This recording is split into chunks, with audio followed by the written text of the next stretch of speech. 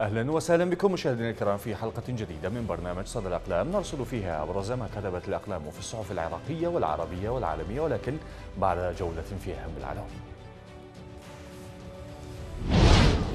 نقرأ في موقع الهيانات قسم حقوق الإنسان. القوات الحكومية قتلت واعتقلت 792 مواطنا خلال نيسان الماضي. ونطالع في المدى محاولات لمشاركة الحشد في التصويت الخاص وتزوير النتائج في نينوى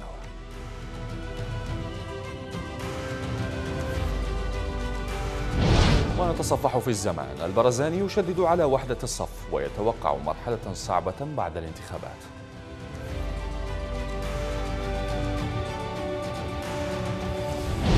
نقرأ في العرب في العرب الجديد العراق تحالف الفتح يتجه إلى تبني مشروع المالكي لحكومة الأغلبية السياسية. وفي العرب اللندنية تغيير لمصلحة حزب الله في مجلس النواب يهدد عودة الحريري إلى رئاسة الحكومة اللبنانية.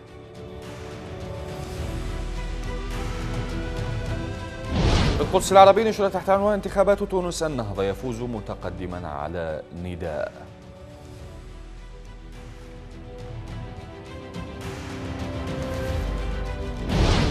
ونطالع أخيرا وليس آخرا في الحياة. روحاني يحذر ترامب من ندم تاريخي ونتنياهو.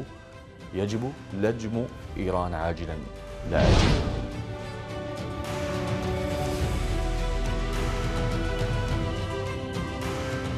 أهلا بكم. لا شك أن الانتخابات العراقية تشكل فرصة مواتية لصناعة يافطات وإعلانات الدعاية للمرشحين والقوائم وللمطابع لكي تعمل بأقصى طاقة.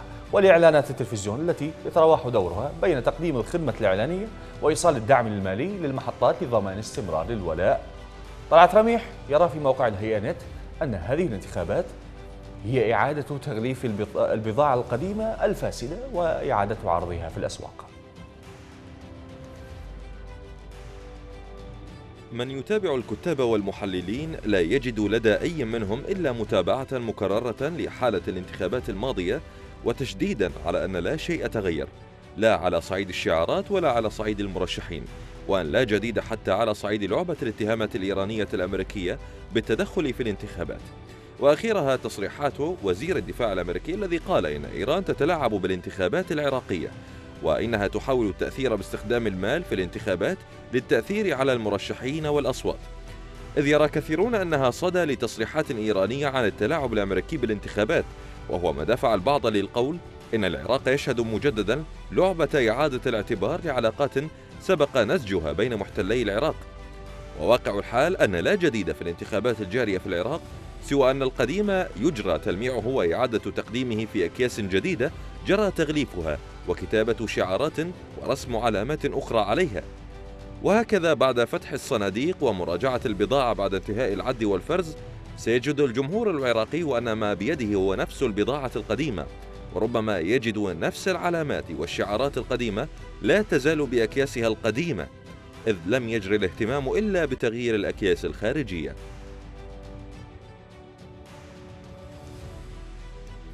الكاتب يقول إنه بحكم الطبيعه الخاصة لاحتلال العراق إذ يشهد العراق احتلالين أحدهما أمريكي والآخر إيراني.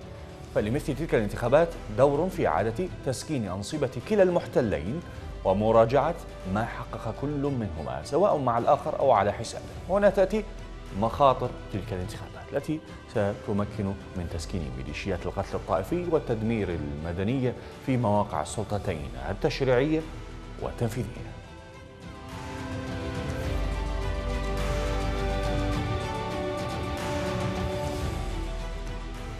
لم يسبق للدورات الانتخابية السابقة شهدت مظاهر وظاهرات برامج وشعارات ووجوها وأشكالا لم يألفها الجمهور بل لا أحد يعرف تاريخها السياسي والاجتماعي ولا ملامح عن حضورها في المشهد السياسي الوطني أو انتماءاتها الحزبية. وقد لا يستطيع أصحابها إذا ما سئلوا استرجاع بعض من تاريخ العراق ومراحل تطورها أو حتى جانب مضيء حتى من هذا التاريخ. علي عبد الخالق يقول في صحيفة المدى إنه امتياز لهذه الدورة أن تقدم ما يشبه الحفلة التنكرية حيث معظم المرشحين يضعون أقنعة رخيصة تخفي كل ملمح يشي بحقيقتهم وما يمثلونه.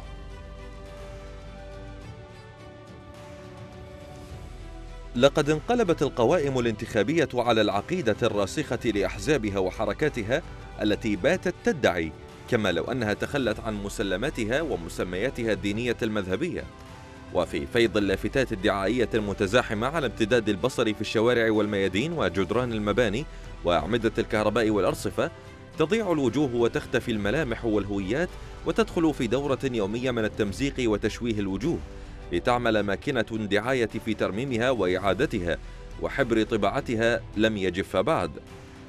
إن أخطر ما تفرزه الدورة الانتخابية الجديدة بسبب فساد الطبقة السياسية وتورطها في حماية الفاسدين والامتناع عن اتخاذ أي إجراء جدي لملاحقتهم يتمثل في تجرؤ رموز الفساد والقتل على الهوية على الإفراط المباشر في الترشح بقوائم مستقلة أو التسلل إلى القوائم التي ترفع في واجهتها شعارات التصدي للفساد. المرشحون الجدد منهم أصحاب مصارف تدور حولهم شخصيا شبهات تهريب الأموال وتزوير مستندات تحويلها والعبث باقتصاد البلاد. باتوا يطمحون للانتقال من مرحلة توكيل ممثلين عنهم بالإنابة في البرلمان والحكومة وأجهزة الدولة الحساسة إلى الدخول المباشر فيها وهو ما يؤمن لهم الحصانة الدستورية.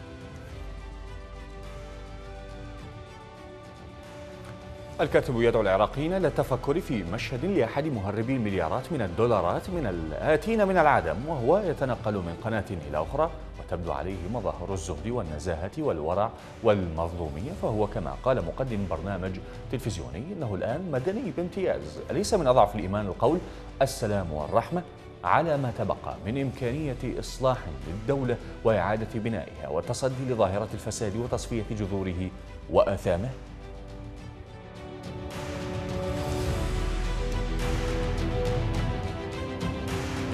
العراق برمته.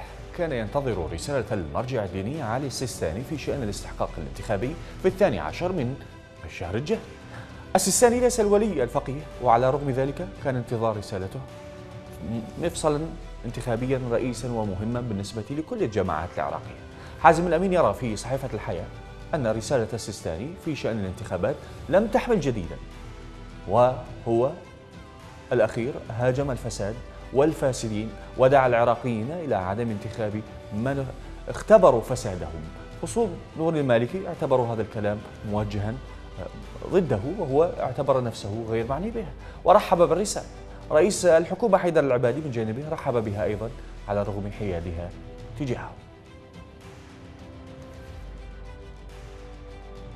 كان انتظار الرسالة مؤشرا يفوق الرسالة أهمية. ذاك أن الانتظار كشف عن أن المرجعية القول الأخير في المحطات الرئيسة. وهذا افتراض إذا ما صح فهو يعني أن ولاية فقيه عراقية تلوح في أفق ذلك البلد. وعلينا هنا أن نستعيد حقيقة أن قرار إنشاء الحشد الشعبي اتخذته المرجعية عبر قرار الجهاد الكفائي. والحشد اليوم هو المؤسسة شبه الرسمية والممولة من الحكومة والتي ينضوي في صفوفها مئات الآلاف من المقاتلين. وترشح عشرات من وجوهها إلى الانتخابات وهم اليوم ينافسون السياسيين في مختلف الدوائر الانتخابية وهم ممولون من الحكومة والمرجعية لم تعلن قرارا بحل الحشد على رغم انتهاء المهمة.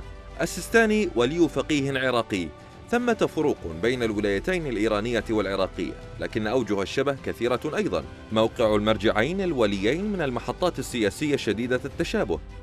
وحين نراجع مثلا رسائل خامنئي في المحطات الانتخابية الإيرانية فسنجد شبها كبيرا في الحياد والحديث العام عن الفساد وتجنب الإفصاح عن الجهة التي يرغب المرجع في دعمها. ثم أن الحرس الثوري بصفته أداة الولي الفقيه يمكن أيضا أن يذكرنا بالحشد بصفته ثمرة فتوى المرجعية العراقية. الكاتب يشير إلى أن عددا من المعلقين والسياسيين أطلقوا على رسالة السيستان الأخيرة عبارة الولاية المدنية في إشارة إلى رغبة عراقية بالتمايز عن ولاية الفقيه الإيرانية لكن هذه الرغبة لا تكفي لإلغاء خطوات تقارب كبرى بين الجماعتين بحيث صارت الفوارق شكلية. فالفارق التاريخي بين المرجع والولي يضعف يوما بعد يوم. المرجعية بهذا المعنى مرغمة على أن تكون ولاية طالما أنها الولاية. الفعلية وطالما أن السياسيين وأحزابهم وخصومهم سيلجؤون إليها كلما حانت ساعة ضيق.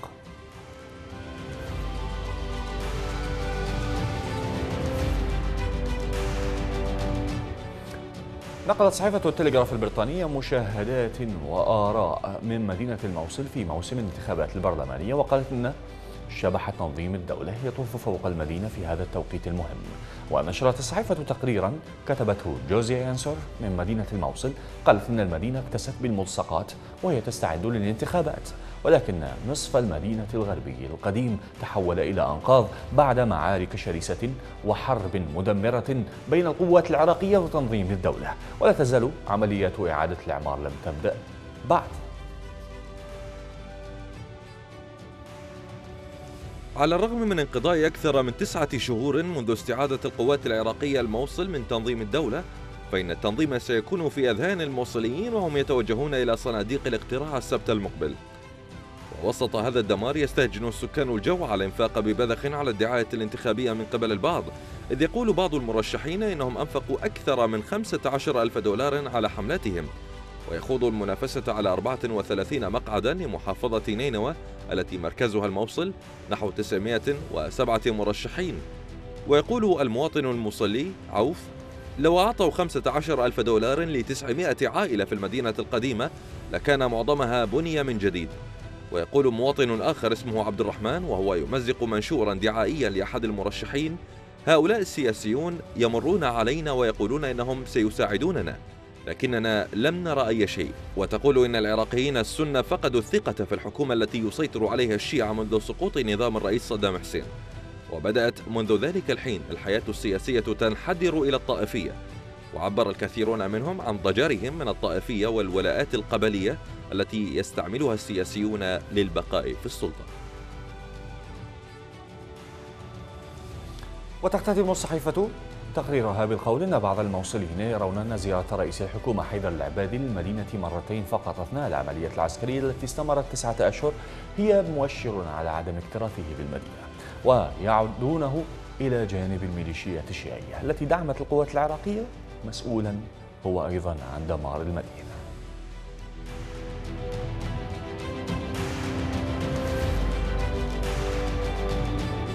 يتعرض النفوذ الإيراني في القارة الإفريقية لتراجع ملحوظ خلال الفترة الأخيرة إذ أن الواضح أن الأفارقة باتوا يدركون جيدا التداخل بين الجانبين السياسي والديني في العلاقات الدبلوماسية مع طهران واستحالة الفصل بين الاثنين في مسلسل التعاون الذي عملت إيران على نسجه مع عدد كبير من الدول الإفريقية خلال العقود الثلاثة الماضية. هذا ما أشار إليه إدريس الكمبوري في مقاله الذي نشرته صحيفة العرب اللندنية تحت عنوان أصابع إيران في إفريقيا.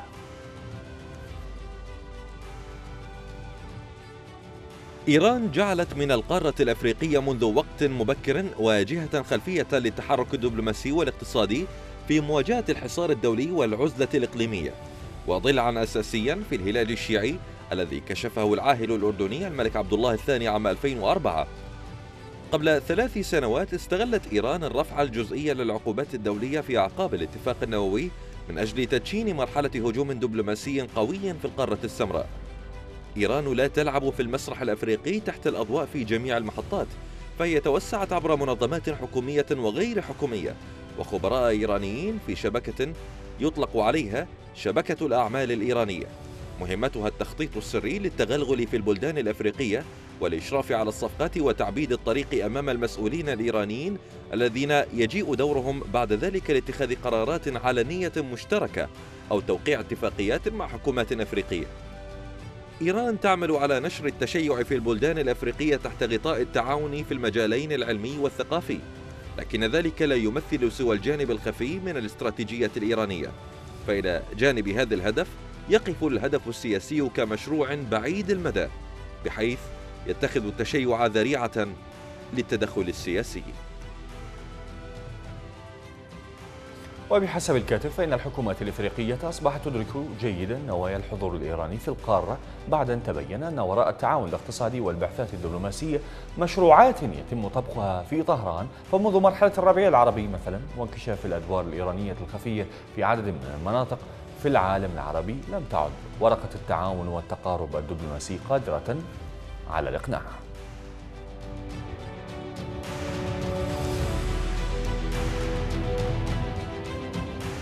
قال الكولونيل الأمريكي المتقاعد والمحاضر في كلية إليوات بجامعة جورج واشنطن غاري إدرسون إن إيران تواصل لعبتها الخطيرة في المنطقة على الرغم من التهديدات المتزايدة للرئيس الأمريكي دونالد ترامب وأكد إدرسون في مقال له نشرته آه، صحيفة واشنطن تايمز الأمريكية أن طهران تصر على مغامرات أجنبية تنطوي على مخاطر متزايدة في حين يتراكم الاستياء في الداخل حيث وصلت قيمة الريال الإيراني إلى أدنى مستوى لها مقابل الدولار.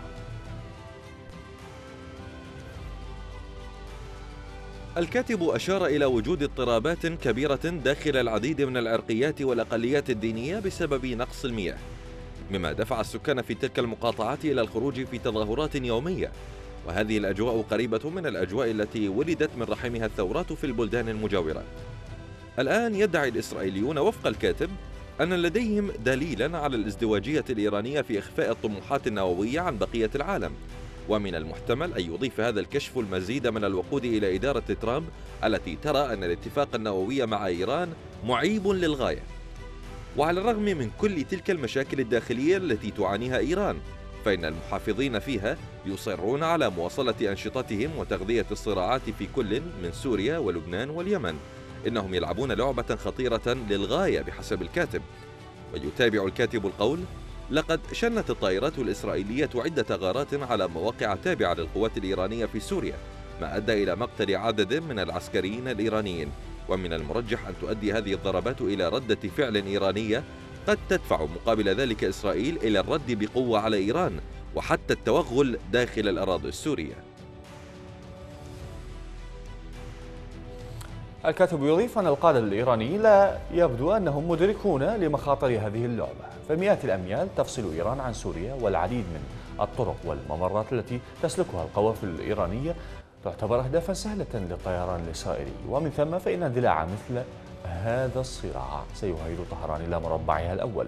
إذا استطاعت إسرائيل إثبات وجود برنامج نووي إيراني سري. فإن على أمريكا أن تزيد من عقوباتها على إيران لتصل رسالة واضحة إلى المحافظين في طهران بأنه لن يكون بإمكانهم التحول إلى قوة عظمى في الشرق الأوسط على حد تعبيره.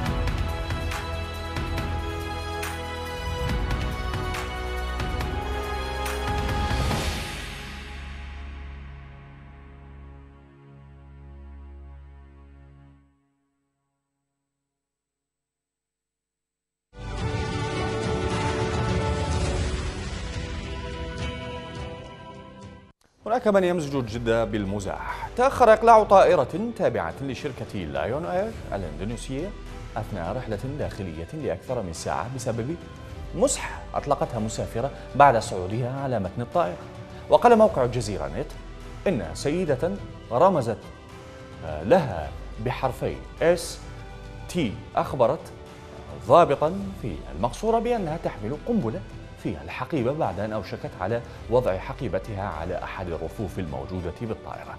ثم قالت الراكبة لاحقا إنها كانت تمزح فحسب. إلا أن المزحة أدت إلى قيام أفراد الأمن في المطار بإعادة فحص الطائرة للتأكد من عدم وجود أي قنابل على متنها حيث قاموا بتفتيش 207 ركاب وحقائبهم أيضا بالإضافة إلى البضائع دون أن يعثروا على أي قنابل أو أي جسم مشتبه به. وفي النهاية تم السماح للطائرة بالإقلاع في السادسة وخمس وخمسين دقيقة بتوقيت المحلي بعد تأخرها لمدة ساعة وعشرين دقيقة عن موعد إقلاعها الأصلي.